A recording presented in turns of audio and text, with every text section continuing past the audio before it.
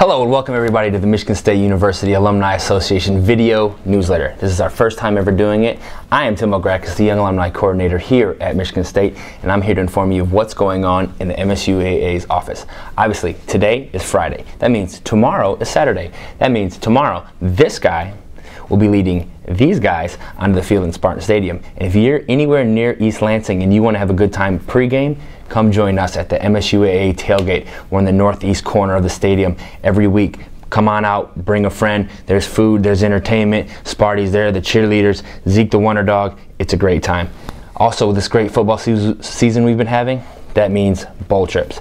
We're planning them right now. Regardless of what bowl we end up to, we'll have a package put together. So once that gets announced, check out this website on the bottom of your screen and come out and hang out with us with the bowl. We'll have a lot of good things going on, tours, parties.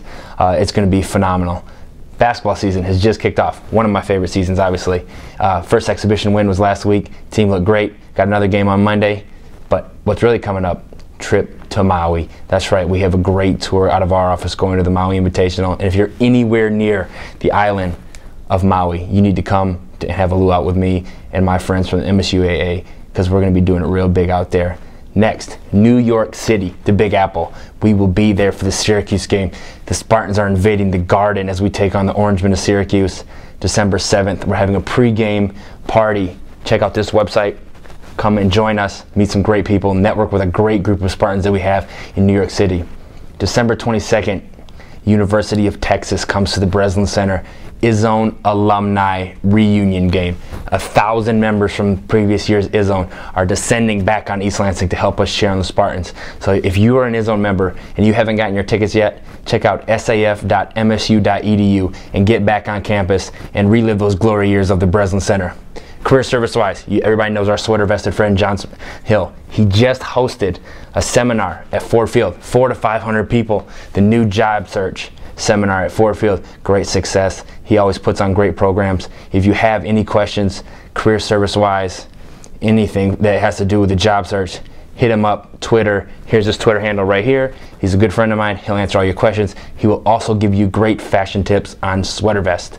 Today, November, or tomorrow, is the last day to sign up for the Young Alumni Cruise.